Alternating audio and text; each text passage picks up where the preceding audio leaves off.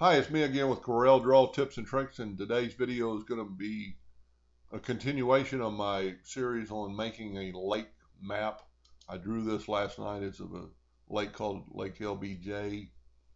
Uh, Central Texas has seven lakes in a chain. It's uh, in the Texas Hill Country. And if I'm not going to go over how I did this, you know, I made this uh, vector cutting line but let's just zoom in here. And some of these little pieces are too small, they're going to burn away. So you've got your shape tool, and you can go through here and, and delete some of those. But what I would suggest to do first, before you've got, see all the nodes, just encompass all those nodes, you're going to get this. And let's reduce it by, and you should always make a copy first. Let's reduce it by 20 and see all the less nodes now.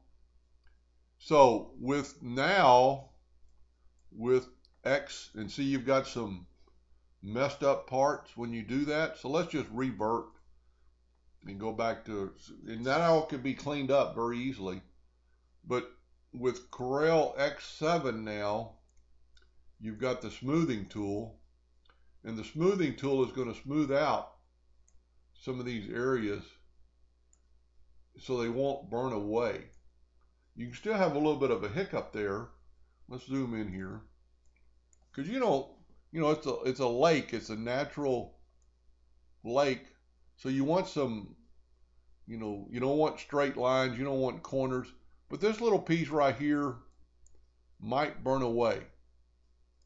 So just straighten them out a little bit.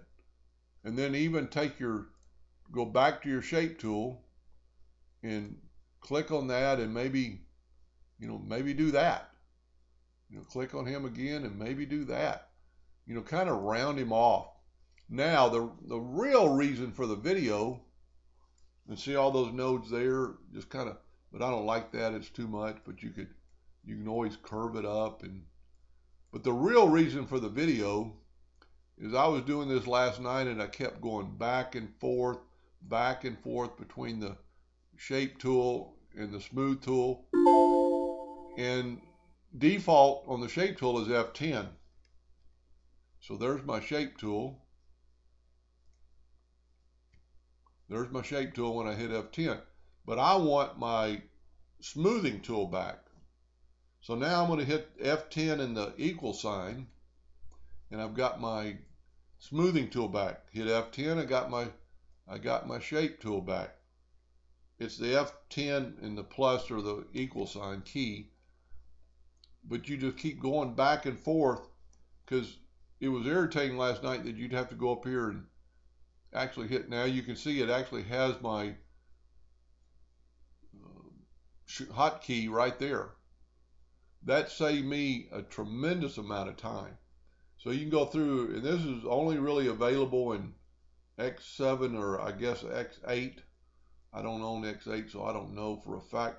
But you need to get rid of some of these that are just too too sharp, and you're gonna have to do some test and and so hit F10 and get my shape key back. So I could put these little nodes a little closer and get these two areas faster. You can actually maybe even hit the delete key and see what it looks like.